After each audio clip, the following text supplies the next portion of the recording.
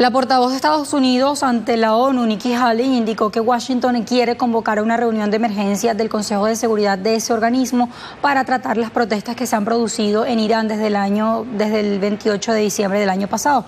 Haley indicó que los derechos humanos de los manifestantes no se están respetando a la vez que argumentó la postura de su país sobre las manifestaciones, señalando que la comunidad internacional tiene un papel que jugar en este tema, llamando así a la ONU a manifestarse en ese sentido.